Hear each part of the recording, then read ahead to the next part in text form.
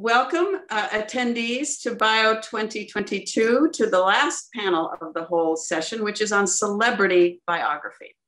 I'm Kate Buford. Um, I was co-chair with Ann Heller of the program committee and have been a member of Bio since the very beginning um, and have written a couple of celebrity bios myself, Burt Lancaster and the Native American athlete Jim Thorpe. But I would like to introduce our panel today before we get started. And we will leave some time at the end, uh, as all the panels have, I hope, um, about 10 minutes to answer questions that you can post on the chat window. Uh, Kitty Kelley is an internationally acclaimed writer, has written seven biographies, all number one New York Times bestsellers. Her subjects have included Jacqueline Kennedy Onassis, Elizabeth Taylor, Frank Sinatra, Nancy Reagan, the British royal family, the Bush family, and Oprah Winfrey. Kelley has been honored with several awards, including the American Society of Journalists and Authors for Outstanding Author Award for her courageous, this is a quote, courageous writing on popular culture. Focus on courageous. Um, Stephen C. Smith is our second panelist, is, has been Emmy nominated four times as a documentary producer, author, and speaker who specializes in Hollywood history and profiles of contemporary filmmakers. He is the author of two acclaimed biographies Music by Max Steiner, The Epic Life of Hollywood's Most Influential Composer, a finalist for Bio's 2020 Plutarch Award, by the way, and A Heart at Fire's Center, The Life and Music of Bernard Herrmann. He is also a 16 time Telly Award winner. Stephen has produced and written over 200 documentaries about such subjects as Julie Andrews, Martin Scorsese, uh, Stephen Sondheim, uh, and many others. He can fill us in later. And he also does um, a series, fair to call them webinars, I think, recently on the fascinating subject of sin and censorship in pre code Hollywood. And our third and last, but no means last panelist, Alan Rode, produces and hosts cinema events while producing classic film commentaries and documentaries himself. And he works with Stephen quite a lot. His biography, Michael Curtiz, A Life in Film, recently published in paperback, received rave reviews from the New York Review of Books, among other outlets. He is the producer and host, where he is right now, of the annual Arthur Lyons Film Noir Festival in Palm Springs. And I've been there, and so has Stephen, and we can attest that it is a wonderful event. Alan is also charter director of the Film Noir Foundation, a nonprofit organization dedicated to restoring lost films from the classic film noir era. So I thought I would start by reading a brief paragraph from a book that was recommended to me when I was writing about famous people called The Frenzy of Renown by Leo Braudy. It was published by Oxford in 1986. Um, and I think this sort of sets up what we'd like to talk about, among other things. Fame is, and I'm quoting now, fame is made up of four elements a person and an accomplishment their immediate publicity, and what posterity has thought about them since. Since people are vehicles of cultural memory and cohesion, they allow us to identify what's present with what's past. By preserving their names, we create a self conscious grammar of feeling and action that allows us to connect where we have been as a society and where we are going. How they and their supporters, and that includes biographers, ensured that they would be remembered is therefore a crucial part of the story of their fame. The audience must be lured into remembering them. So I think I would like to start out with defining celebrity. And I know Kitty has some strong feelings on this. Um, talk about the, the, the key word of this panel, which is what is celebrity? And is it any different from fame? Thank you, Kate. I do have very strong feelings. Um, I cannot abide the term celebrity biographer. I abhor it, and I'll tell you why. I think it diminishes the, the writing of a life story.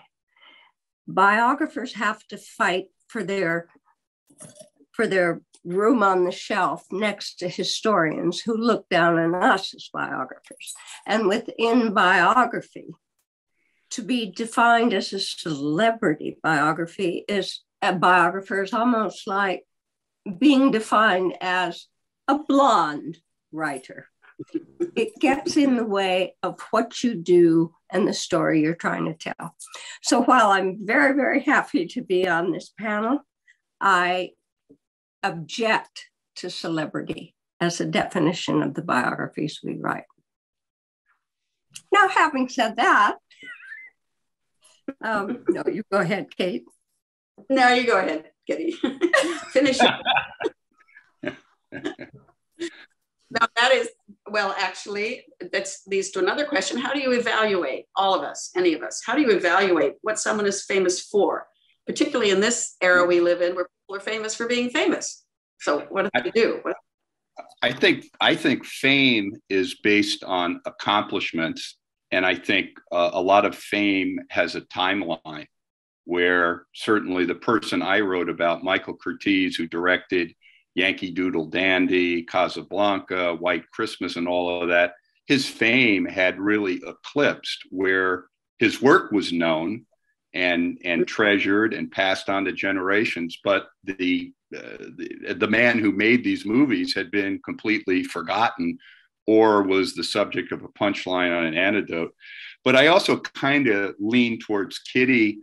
The term celebrity, when I hear celebrity, I think of Paris Hilton or the Kardashians. I, I, I don't, uh, celebrity, we now, we're in an era now where people are famous for being famous and not for necessarily accomplishing anything. And I think fame is tied to accomplishments, uh, whether in the present tense or the present mind or the past mind. And celebrity is kind of this uh, um, uh, ephemeral type of, of transitory type mm-hmm. of thing.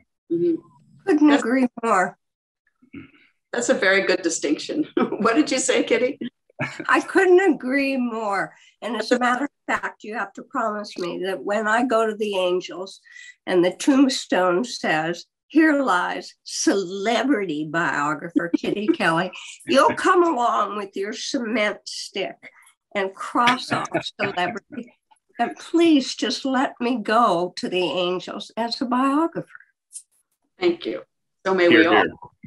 Um, here, following on that, how would each or any of you say writing about famous people, people of fame who have accomplished something in their lives, is different from any other biography subjects. I mean, anyone is written about because they've done something that someone thinks. Steve Stephen's nodding his head. What are what are the differences? Uh, for me, one of them is the fact that, unlike many biography subjects, you are already encountering multiple biographies of their lives, narratives that they or their publicists or others have told, or well meaning journalists who got the facts wrong, and then that's repeated. So, when even dealing with someone like Max Steiner, a, a very well known person within his field, he scored Gone with the Wind, Casablanca, King Kong. He, he essentially created the film score as we know it in the sound era. Uh, he had multiple stories of his life being told. And it was, of course, a, a, great adventure, as it is for all biographers, to try to go back to all the primary sources, to put all of that uh, narrative that you're that's easily found aside and in the case of Steiner, most of it was wrong. And it was the pleasure of not only reintroducing someone to, to the, culture again, as Alan did with his wonderful Curtiz book, but mm-hmm. it was mm-hmm. telling a story that had not been told at all. I it, and it was a remarkable story, almost like a, a European version of E.L. Doctorow's Ragtime with its celebrities and mm. its forgive me using that word, and Emperor Franz Joseph, knowing the Steiner family, who were like the Ziegfelds of Austria, and cameos by everyone from you know J. Edgar Hoover to Joseph Stalin to Gustav Mahler to Elvis Presley. So uh, that that's how it's different, I think, though, is that you're you're having to weed your way through what people think is the story and what you may think is the story. Mm-hmm. The truth is very different. That's, that's a, I think that's exactly right. Yeah, it's exactly right, and I think too it's very important to rediscover some of these people who have been ignored or underestimated. Burt Lancaster was one, I say, because I wrote about him. No one had connected the dots, and it was a remarkable career, an important career. So you're not only writing about someone who did something, but as um, Alan said, people have forgotten about what that person did, and it's important. So you're you're resurrecting a life in many ways and finding the importance. Um, Stephen, you you wrote one of the really wonderful things about the two books that you wrote about music, Hollywood musical composers was, and this gets to what makes someone famous. Why are you writing a book about them? You really deconstructed the music itself for a general audience like myself who would not necessarily understand those intricacies. Um, Alan did the same thing with Curtiz directing, um, but music's even more a little esoteric. How did you approach that and know that you were explaining this to someone like myself who doesn't really understand music beyond the basics. Well, that is the most challenging thing writing about a composer. I, I, had a bit of an advantage in that both of the composers I wrote books about, Bernard Herrmann and Max Steiner, worked primarily or are at least best known for their film work. So eh, when you're talking about Casablanca or King Kong, at least you're you're you're dealing with with memory and people will know the films. But uh, music, the language of music is very intricate, and you can very quickly be writing over a general reader's heads. That was the last thing I wanted to do. I wanted to write a book that was for the general public that wouldn't offend musicians when when they read it. And I turned in both instances to the person who I think did it better than anyone, Leonard Bernstein. Uh, fortunately, we have uh, records, we have video of his young people's mm. young people concert guides, which of course were not really just for young people; they were for a general audience. He did these wonderful televised lectures, the series Omnibus, the same thing, and so. I, I, would say that so many biographies have involve a specialized language. If it's a scientist, of course, there are scientific terms you need to explain to someone. Mm-hmm. Math, if it's if it's uh, nautical, you know, there are those terms. So what I tried to do is write uh, very, very clearly and introduce words like glissandos, arpeggios, chromatics, and chromaticism, and and just not people feel that they had to memorize these things, but but get familiar with them, and then write in a way that that honed in on the emotional effect that was being created, and mention also the instruments that were being played. So. Uh, it, I, I, hope I succeeded, and uh, I, I, had my. I, there was in the earlier panel today the discussion of who reads your book before you give it to the editor. In my case, it was a, a general reader who is an excellent writer, uh, professional musician, and my brother because I'm writing for myself. We all write for ourselves a little bit, and so he's he's uh, my audience, if you will. And I took the musician's notes, and and I took the notes from my friend who said I'm confused about this term, and and uh, looked for similes. So it, it is a bit of a, a, a, unique process, but again, not too dissimilar from everyone who has to write about a, a, world that we just don't know. But of course, best case scenario, you invite people into that, and I've had, mm-hmm. I'm happy to say, a positive response to of, of people saying that they understood it. Mm-hmm.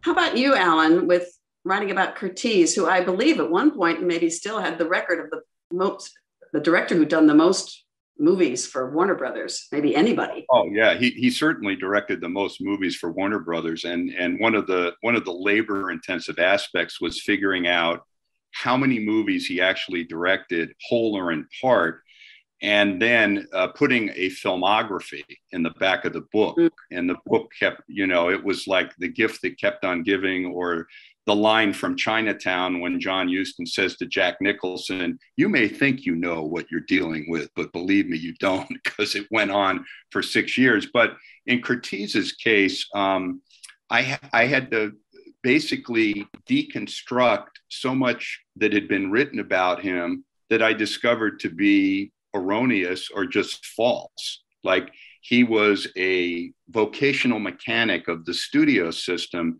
who was given a script and he shot the movie and paint by the numbers. And a lot of this came uh, due to the timing of his death in 1962. And this was when people like Peter Bogdanovich and Andrew Sarris and Richard Schickel really started writing about golden age directors like Raoul Walsh and Bill Wellman. And these people were still around and Curtiz wasn't. And this was when the auteur theory took hold, where the directors had a specific signature.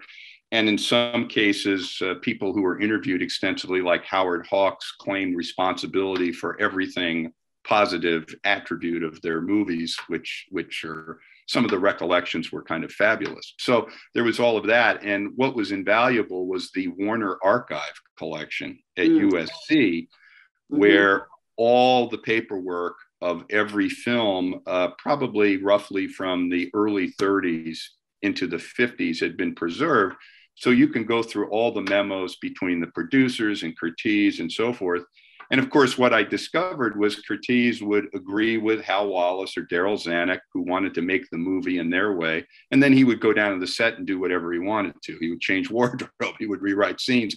And so there was this constant tug of war between movies that Curtiz thought were his, but it was really theirs, Jack Warner and Hal Wallis and so forth. And there was this constant, and then as things changed, he got more power. And then all of these anecdotes that, as Steve made reference to, the studio publicity mill or the Hollywood Reporter or Variety, because there's so many things in the trade papers that when somebody at the publicity department at Warner Brothers or somebody's agent was was having a, a, a slow day, they just make something up like we're going to put Ronald Reagan as Rick in Casablanca or George Raft. And I found out so many of these things simply weren't true, and that Curtiz really was a totally artist artistic man who was who was really an artist who arranged every setup and so forth. So a lot of what I did was kind of with with a pair of shears going through this jungle of press releases and anecdotes that had been reprinted so many times that they kind of hardened into this bedrock of Hollywood folklore mm-hmm. that became accepted as truth and cutting through all of that. So that was, you know, that was really my experience of Curtiz of telling a story about a man and his life and his work that really hadn't been told before mm-hmm. accurately. Well, now, Kitty, you have a different challenge because you have written about people who are really household names, very famous. We don't have to uh, wonder who they were, who they, yeah, in most cases were. Tell us a little bit about, and I won't use celebrity, famous people, distinguished people, political people, royal people, and you're writing about them, and everyone knows who they are, or they think they know who they are. How is that a different challenge? Uh, one thing I want to say that I think will be helpful. I hope it's helpful to everybody, no matter who you're writing about movie star, president, first lady. Take the time to sit down and write a chronology beginning with the year of birth to the year of death. I'm not asking you to follow it that way when you write, but do make a chronology. This will become the key to your work and take it with you when you do interviews. This chronology should be benign. Do not put judgment in it. Put date of birth and facts. And when you start writing this, it'll start out five pages, it'll become 10 pages. And by the time you're ready to interview someone, it should be about 45 to 85 pages. You hmm. take this chronology with you and when you go in, someone will say, Oh, I've known Frank Sinatra for, I've known him forever. Really? How did you first meet him? Oh, and then they'll say this or that. And you'll go back to your, you'll show them the chronology. And this will help you do the interview. It'll place the information where it should be placed. And it'll also help the person you're interviewing because that person will look at your chronology and say, "Oh my God, I remember, yeah, on Anchors of what? Oh, that's what." That was when he was having the affair with my aunt Susie, and you try never to react. Really, how's Aunt Susie get in there? This chronology will help you so much. The second thing I would say to biographers after every single interview you do, write a thank you. Write an email. Say, Dear Kate, I love talking to you today. It was absolutely wonderful. Thank you so much for your time. I didn't get a chance, though, to tell you how pretty those pearl earrings were that you wore. And I always wondered about what the hangers were doing in the back of the blah, blah, blah, something to locate because four years from now, that person might not want to be thanked. That person might deny speaking to you. It happened to me when I did the Nancy Reagan book. the Reverend Donn Moomaw denied giving me an interview. I had to make sure that he saw the 45 minute tape transcript of the interview before he said that. As Winston Churchill says, though, said, a lie will go halfway around the world before the truth can get its pants on. So you have to protect yourself and protect your publisher. So those those are the two commandments I would give someone. Those now, are question, Kate. no, I, that's um, particularly it's applicable to any biography project. But that's when you're with with famous people, people that are extremely well known, then it's even more important because they're going to be perhaps more defensive. I don't know. Um, but the, the kind of people you have treated, you have to approach them in a different way. Also, they were still alive. That's another issue for famous people. Is your subject dead, safely dead, or is your subject alive? And there's all there's that whole sort of mantra cliche, kill the widow, you know, meaning that if you you know, Stephen's laugh. You've heard that. I heard that with Lancaster. Um, if you're writing about, in this case, a man who is dead, who has been famous, and the widow is still alive, you have to earn the trust of that person as you have to earn the trust of everyone. Um, that's one of the most important things. But I'm thinking, Kitty, just to pursue this a little bit longer, um, what we all know that you that your subjects were very um, famous case of Sinatra um, controversial. What about dealing with people who are alive? What about the approach? Did, did you have, did you build your, your, your interview list up to the top? Did you get the strategic part that was easy at the bottom, the low hanging fruit, and then work your way up? How did you, how did you handle that? I didn't have a specific way of doing it, but I will tell you there were times when I was doing the book on Sinatra. At one point, excuse me, I wanted to interview a woman who um, uh, had claimed that she had had a relationship with Sinatra. Um, and that he had suggested, Kate, will you let me come back to this just a minute? I am having a bit of a problem, electrical sure. problem right here. Oh, okay. Go ahead. Oh. Dying to hear the Sinatra story. yes, yes, yes, yes, yes. Please go ahead. I'll be right oh. with you. Oh, okay. I've uh, got a little fire here. I, I think, Kate, the the point about uh, being alive, uh, the people that Steve and I have written about were both deceased.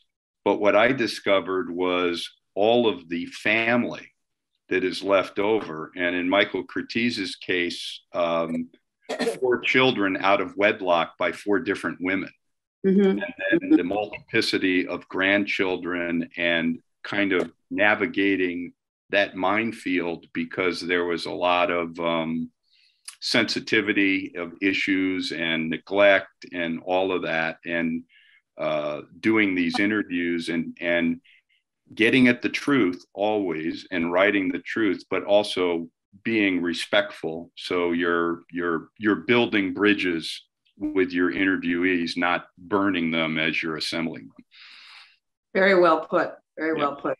Yeah. Um, yeah I, that's a very good point. I think we'd all agree. Biographers whether famous or not, the subjects, but even more with the famous ones because more people have skin in the You know, they, they want their name in the book or they have their story they want to trot out.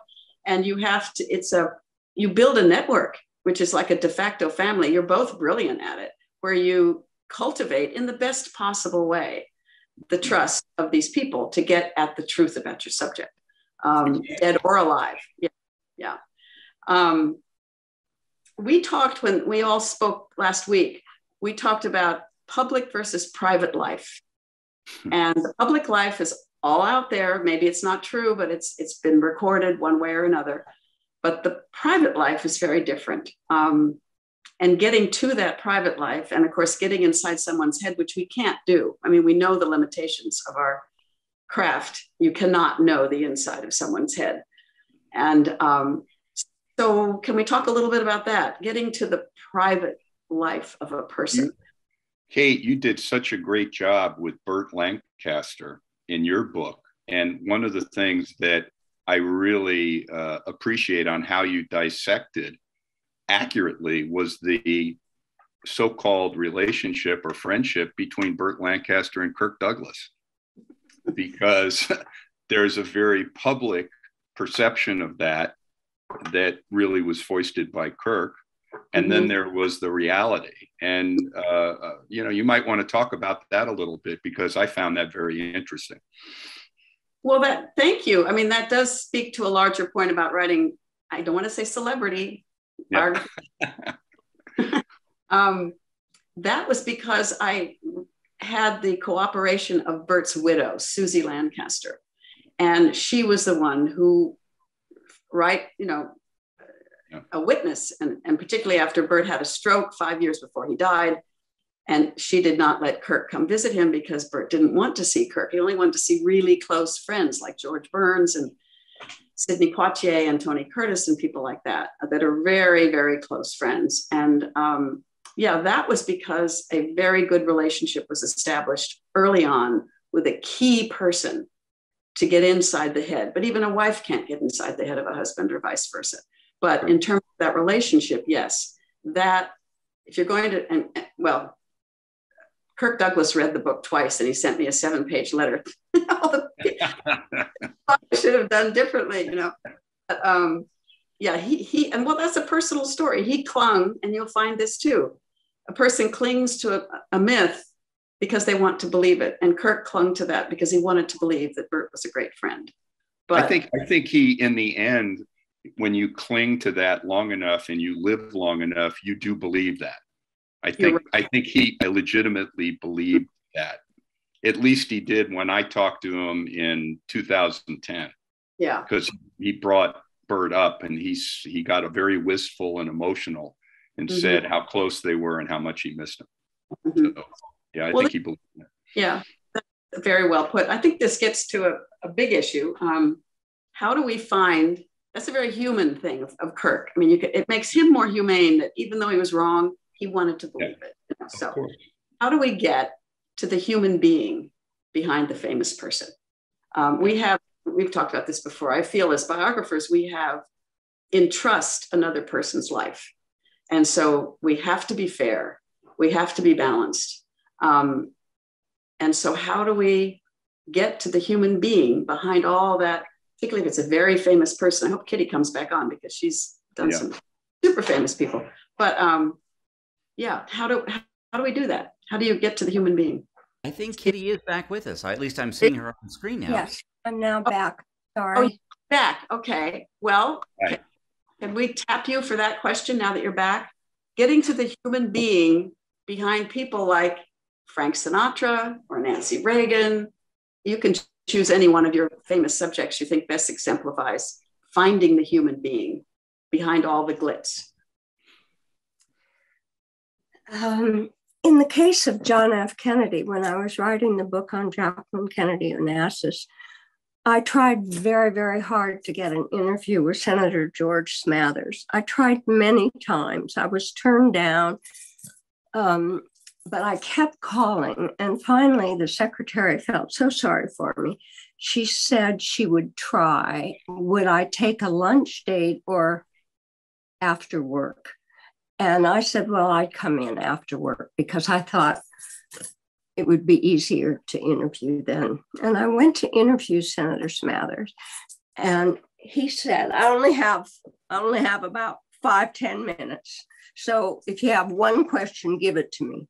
And I said, Yes, I do. You were with you were with JFK in 1956 after the vice presidential, at the Democratic convention when he lost the vice presidential nomination. Can you tell me a little bit about that? And he said, in his Southern way, he started talking. He said, Well, he said, Jack, we were in the south of France. And we were having ourselves a real good time. He said, but then Jackie got in the hospital and she miscarried and Jack didn't want to go back. And I had to tell him that he had to go back. Mm-hmm. And Senator Smathers went on and on, and he was talking about Jack Kennedy in very personal terms, sexual terms, the thing that Douglas Brinkley mentioned in his last bio seminar with us that he didn't like to discuss. And I said, Well, I don't quite understand, Senator. He said, Well, you know, Jack was just like a rooster getting on top of a hen real fast. And I finally said, Senator, with all due respect, um, how could you know something like that? How did I know why Jack liked doing it in front of people? I was there, I saw it. well, I couldn't believe it. I had a United States Senator, former senator on the record. I published it, it was in the book. And of course, the reporter from the Washington Post wanted to make sure that I had made it up, called Senator Smathers, and I fully expected Smathers to deny it. And Senator Smathers said, Well, I guess I was just run over by a dumb looking blonde. He never denied it. And one of the most explosive pieces of information. Does it tell you something about the subject? Yes, it mm-hmm. does. Mm-hmm. Mm-hmm. Yeah, you're right. They did it. Your subject did it. I mean, that was his action. That tells you more about him. Um, how about um, a little less uh, dramatic revelations of the human being behind the famous person? Um, that's a real challenge. I can give you one. I remember an anecdote about Frank Sinatra being at his daughter's birthday party. And uh, all the little girls were gathered around, and his former wife, Nancy Sinatra, was hosting the party. And one of the little girls broke an antique, uh, something that was on the mantel. And Mrs. Sinatra was just outraged. The little girl started crying and she ran away. And Frank Sinatra walked over and took the other antique matching one and smashed it on the floor and said, That's all right, honey. Now let's go get some cake and ice cream. Well, it was quite dramatic, but it yeah. did show you something about Sinatra, and he felt sorry for the little girl. And he knew he could replace the antiques. Oh, that's lovely. May I share something uh, from my experience? Sure, absolutely. sometimes you ha- you think you have the material that explains what what the psych- the psychology of someone or at least what they're going through but you really need other pieces for it to make sense. And i was fortunate in the case of the max steiner biography that max's letters uh, scores in which he made copious autobiographical notes recording sessions all of that survived. It had been saved by a curator so I would find a, an, ex- an, explosive letter from him telling his agent that he was quitting the film business and he didn't care if he went into debt and didn't care about this and didn't care about that. And it was such an odd letter. And I knew that Max had, he was sort of temperamentally extreme, but he, that, that was out of character. And there are two layers that I always add on when researching a celebrity piece, whether it was for the A&E biography series on which I was a producer, mostly doing more current figures, or the two books that I wrote about deceased composers. One layer is, is a fairly obvious one. It's the, it's the newspapers of the time. It's the media. What was happening on that day that we were all reading about and learning about because those impacted these people as well. In the case of, forgive me, celebrities or the people we're writing about, the other layer that was very important were the trade journals because Variety and Hollywood Reporter carried hmm. news that would be perhaps the first thing that these subjects would read before they read the New York Times or the LA Times. So I put those three layers together and I looked at the dates and saw what was going on when Max wrote this very strange letter where he was at the top of his field, the top paid composer at Warner Brothers, you know, scoring terrific films, and here he is wanting to quit. And then I realized and saw that David O. Selznick had begun filming Gone with the Wind with the great Fire in Atlanta sequence, and Selznick had not asked Max to score the film, even though they had had a long history of working together. And Max was obsessed at that point, three years into this book's fame.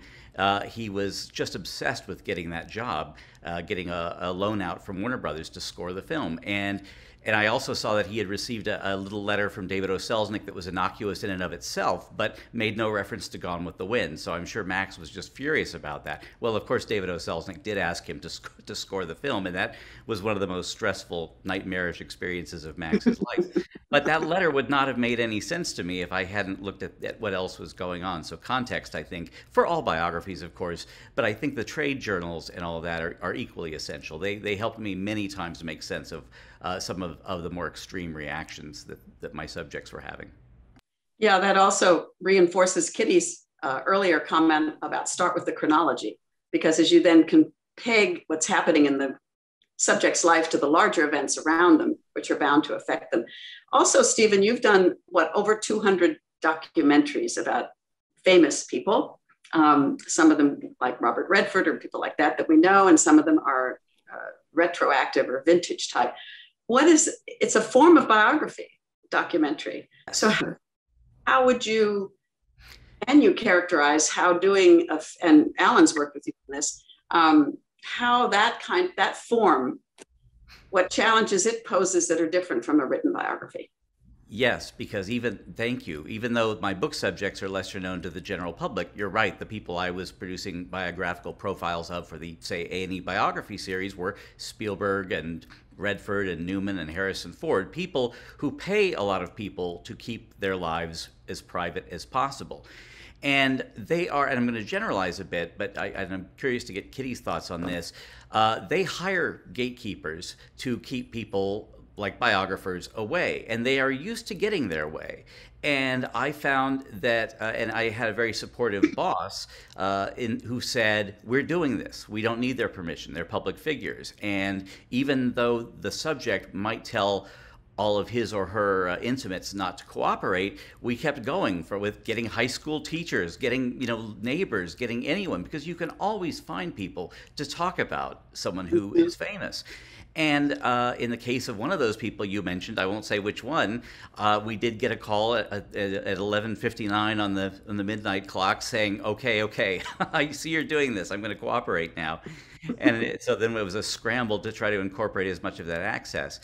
And uh, so sometimes persistence is really key in the modern biography. And, and again, I'll be curious to see if, if Kitty has found that because you just can't take no for an answer. And I have colleagues who are in similar situations who are so discouraged when important to them people say no. And I know that uh, I had I had no's when I was writing my Bernard Herrmann book in my early 20s. Uh, his widow, who at that time had all of his scores for films like Citizen Kane and the Hitchcock films of Psycho and Vertigo or Taxi Driver, his final film, and, and she had all of his correspondence, and she was living in London. And I saved up and I had one shot at, to go to London because I wasn't getting any cooperation from her. I wasn't hearing anything. And I went, I, I, realized she worked at the BBC as a producer, and I sat in the lobby and just politely said I was there and I'd love to speak with her. and she came out and couldn't have been nicer and said, I'm so, so sorry. I'd be happy to cooperate. But I, I think it showed her just how personal this was and how seriously I was taking it and I saw her weeks ago, and and she's like a second mother to me now. Uh, so we really built a strong connection, but it took many months and, and accumulating interviews with with people like Aaron Copland and others who were you know significant. And I think the more people you can amass like that, that have a reputation that, that others might say, I well, I wouldn't be wasting my time. But again, Kitty, I'd love I'd love to hear your thoughts on that. Oh, listen, I applaud you a hundred percent most important thing I think beyond intelligence is persistence. And I think you have to love your subject. And I have, I don't mean loved every one of my subjects, but I had deep admiration and respect for them and what they did and what they accomplished. I believed in their life. I believed that their lives had influenced our own lives in the 20th century, either historically, literally, musically, politically, in some way, I believed, and that kept me going. But I agree with you, you must be persistent. Mm-hmm. Mm-hmm. It's hard. It's really hard. It's especially hard if you get rejected. I remember I was terrified. Uh, I wanted a, an interview with Brad Dexter And he had turned me down several times, and I wanted an interview with this man because he had saved Frank Sinatra's life. And I called him and wrote to him, and the answer was always no, no. And I too did what Stephen did and happened to be in Palm Springs um, with a friend. And this is another thing make sure not just write a thank you note, but sometimes have someone with you.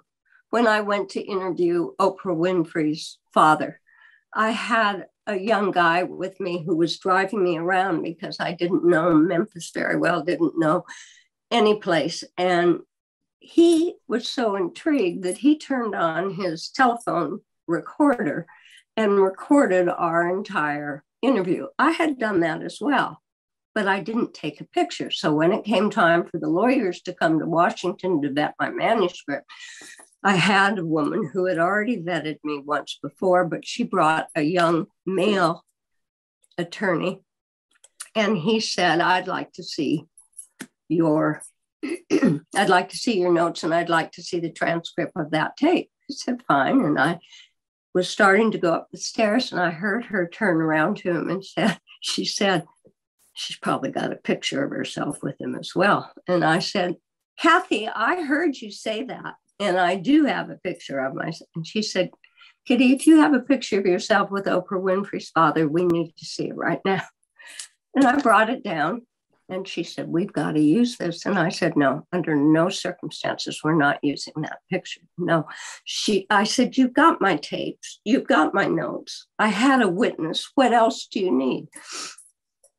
She said, people aren't going to believe that Oprah Winfrey's father has told you what he has told you about Oprah, about having a baby when she was 16 years old. People aren't going to believe that.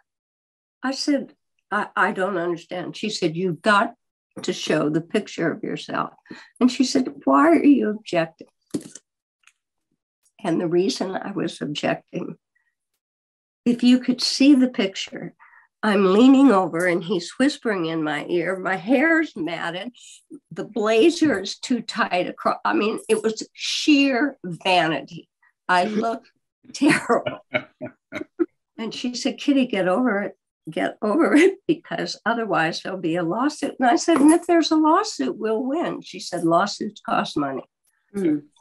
anyway, long story telling you. That's uh, that's interesting. You brought up uh, Kitty Brad Dexter. Over 20 years ago, uh, I was doing the screening out here in Palm Springs, and he came. He came, and I was introduced to him. And his uh, response to my introducing myself was, "How come you're not showing the asphalt jungle?" and he glared at me with his baby blues. I, I, felt like, I felt like Louis Calhern in the asphalt jungle. I had a wonderful interview with Brad Dexter, but I had to work very, very hard to get it. Yeah, he yeah. came to the interview with his wife. Both of them had tape recorders. I had a tape recorder. We looked like we were setting up for RCA. And we sat down and I said, I really need to ask you, you're the man who saved Frank Sinatra's life. Uh, tell me what happened. You were friends before, you're enemies after it was a fascinating interview. Again, mm-hmm. though, it goes to what Stephen said persistence, yeah. persistence. Mm-hmm. And it's hard, it's difficult to have someone say no to you 10 times. Yep, it's true. But when they say yes on the 11th time, yes. I think I'm going to switch over to the chat room. There have been some, some things coming in. Um, the last question, and I'll speak on this myself um, what how do you how do you treat the years that your your famous person is no longer in the limelight? What is their life like?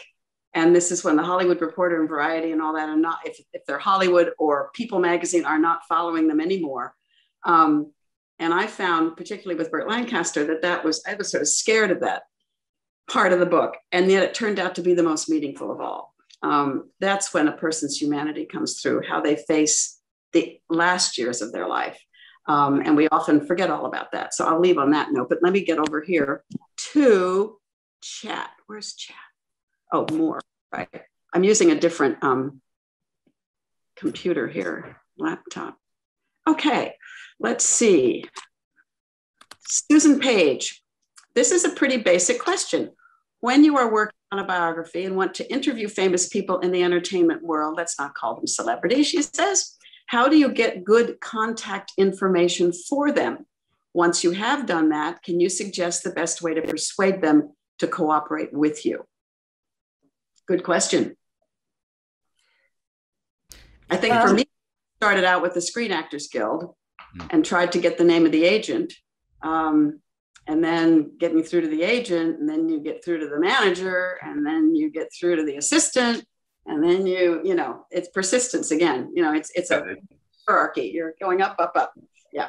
Anyway, go ahead. Other thoughts? Sometimes, sometimes if you get put off by the gatekeepers, if you can call the, I, I've had where I've gotten people directly and they've picked up the phone and uh, uh, I had one person tell me, well, you know, you need to talk to my publicity person and this and that. And then I started talking to him, talking to him, and then saying, well, okay, why don't we schedule something? And uh, I did that with Jean Simmons. Mm. when I wrote my first book on the actor Charlie McGraw. And then she called me back and she said, there's a couple things I don't want to talk about. I don't want to talk about my marriage to Stewart Granger. I don't want to talk about Howard Hughes, and I don't want to talk about Otto Preminger. And I said, fine. I wanted to talk to her about Spartacus and, and in Cold Blood and everything. And of course, we were on the phone for two and a half hours talking mainly about Otto Preminger, Howard Hughes, and everything she didn't want to talk about. So, you know, there you go. In my experience, there's often someone who is close to the subject but not famous uh, a helper, an assistant, a former assistant, a stand in if it's an actor, someone that was a confidant. And if I can find that person, I, I had many good conversations with saying, listen, here's how you get to this person, or here's what this person is afraid of. And if you can convey mm-hmm. that you're not going to go into this area, and uh, similar to, I suspect, uh, experiences, and you can tell me if I'm right or wrong, Kitty and Kate and Alan. But often when people say, I don't want to talk about Howard Hughes or something, and you'll say, fine, tell me about third grade or something, and Howard Hughes will inevitably come up after 20 minutes. Exactly. Once exactly. the person feels that you have agreed to not be too intrusive with them, and sometimes it's the second or third meeting or conversation, the guard goes down, the trust is built. And I, I always found if, if I could meet that person, that friend, that associate in, in person somewhere and introduce myself, and it's, it's that special quality of looking someone and, and they make a decision of whether you seem a trustworthy person to have a conversation with. Exactly. Even, you know, I remember when I was doing the Frank Sinatra book, I, I found a woman who uh, had known Frank Sinatra in Hoboken. And the only reason I was trying to find this woman was because Frank Sinatra was trying to get a gaming license in Las Vegas. And part of that was to swear under oath that you had never been arrested. Because if you'd been arrested, you'd be denied the gaming license. Mm. And when I was in Hoboken doing research on Sinatra, I was told that Sinatra had done time in jail he was arrested and thrown into jail for three days. And that was back in 1939 when there was such a thing as a morals charge. And a woman had him arrested because he had backed out of marrying her. And her brothers were policemen, and she had him thrown in jail. And I finally found this woman in a little town called Lodi, New Jersey. I had her name, I had her address, I had her phone number, and I suddenly got scared. I really needed this woman as a source. I didn't know what to do. I thought if I wrote her a letter, she wouldn't respond. If I called her up, she'd hang up on. I really didn't know what to do. And I went to a friend of mine, journalism professor in Chicago, and he said, Oh, for God's sakes, Kitty, go to you go to her house.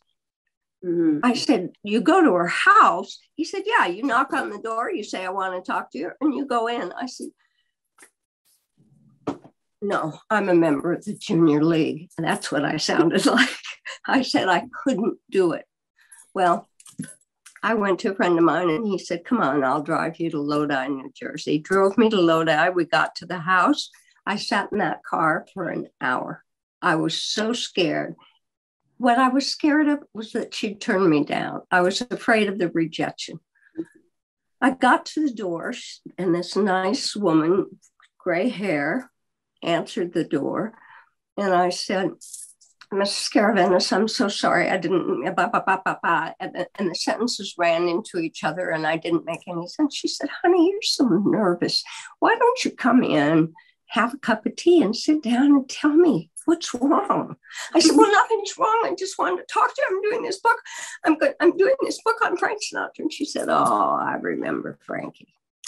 And for the next three hours, she told me about Frank Sinatra she told me about the morals charge. She told me why he had been thrown in jail. And I came out three hours later and my my I was full of myself then. You couldn't even talk to me. I mean, I just thought I was going to get a Pulitzer Prize or something carrying on. But it taught me a lesson. It really taught me a lesson. I it wasn't the first or last time I was scared in doing it but you have to almost push through your fear mm-hmm. and make a, I, I felt I made a fool of myself. This woman and I, I stayed in touch with her like you did, Alan, with people you're talking about. Mm-hmm. I stayed in touch with her. And when the Frank Sinatra book came out, I got a letter from a great niece of hers. And she said, I'm sorry to tell you that our great aunt died before publication. And she said, Our family, many members in our family have been very upset with your book. She said, But the younger generation, those of us who knew great Aunt Grace, we're very happy she talked to you. Mm-hmm. Mm-hmm. And I took that as um, uh, of all the things I went through to write that book, it was it was a wonderful letter to receive. Sorry wow. for taking time. That's wonderful. I, that's Great. wonderful, and I think um, to pick up on Susan's and what you just said, and also the second part of Susan's question. Um, I found that if you start with someone who's famous, you start with the people you know will talk to you, and you get this sort of first layer and then they you jump up to the next layer. And then you say well i've spoken to so and so oh all right. I'll talk to you. And you work your way up up up, up until i remember the day that i got james earl jones for you know talking about yes i'm in i'm in you know because then you get james earl jones and then a whole bunch of other people will talk to you. So it's strategic too. Um, the best way to persuade people reading from susan's question to cooperate with you is that everyone likes to feel reassured that someone else has already talked to you. That's right. Yeah. And you have it's called name dropping at your very best. At yes. your yes. And, uh, and each level, each level, someone opens a door where you're yes. able to go through that door to the next level, into the next level, into the next. And this, and this is a good scheme for any mm-hmm. famous person, movies or yeah. otherwise. It's the yeah. same thing. Let me see what else is here because we're going to have to wrap up here in a minute. Um, right from Jacqueline Jones, Ms. Kelley, thank you so much for the excellent tip about writing lengthy chronology. Mm-hmm. Um, Sella Star, great practical information about chronology and interviews and about thank you notes. Earning your subject's trust is fundamental. Um, do you try to build trust with the gatekeeper? So, yes, I think we spoke about that. Um, and also tips from the gatekeepers trying to keep the author from getting an interview well, perseverance, persistence, and maybe coming in from another angle.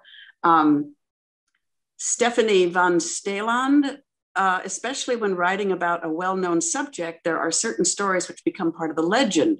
But over time, it is no longer possible to ascertain whether these stories are true or made up. How do you deal with those stories? Well, I think Stephen and Alan both spoke to that is that you, you get the truth and, and the Kirk Douglas story. You, you get what really happened and those myths get busted, um, even though people cling to them anyway. Um, yeah, uh, sometimes you have to put in both stories. Yeah. In writing about Frank Sinatra, right. I had one story from Lana Turner and another story from Ava Gardner. Right. I put them both in. Yeah, you, you put them in and you let the reader sometimes draw the conclusion and you offer your own context on it. And, uh, and the thing about exploding the myth that Kate just say, if I may, there's been a myth for years that Michael Curtiz, when he directed the film uh, um, The Charge of the Light Brigade in 1936, killed hundreds of horses and they filmed down in Mexico. And David Niven wrote about all of this in his book, uh, Bring on the Empty Horses, which was a quote taken from Michael Curtiz, an order given Bring on the empty horses. And uh, in going through all the legal files and everything, this is a complete myth. And I wrote about it at length on how the movie was really made, what really happened, and so forth. And yet, I can turn on the TV and somebody will be repeating the same story again and again and again. Mm-hmm. And I even took an extract of my book and published it in a magazine about Charge of the Light Brigade that I didn't get paid for because I just get so annoyed at hearing this fairy tale and it's become hardened into like permanent truth, even though it's not true. So, yeah, like you know, it's an ongoing battle with the myth making. Um, Peter Benjaminson asks if any of us have actually been sued by our subjects. Happily, Hello. No.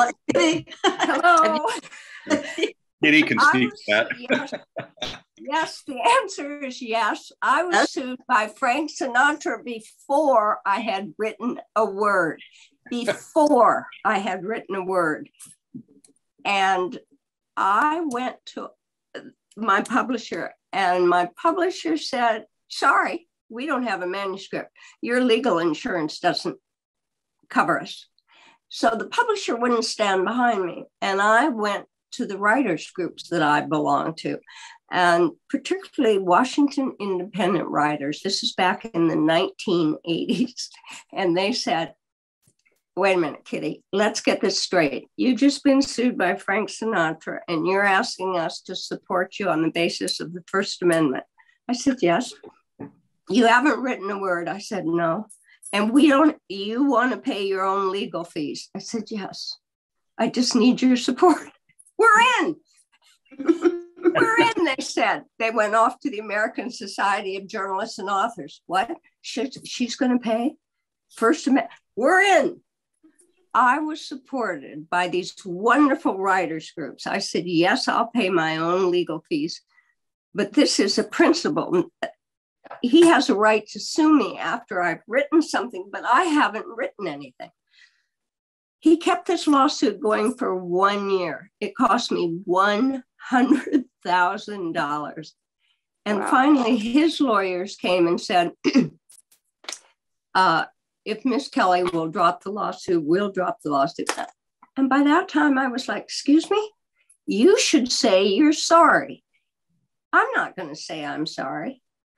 So, because I knew the headline would be Sinatra wins, Kelley loses. And I owed it to those writers' groups to stand up.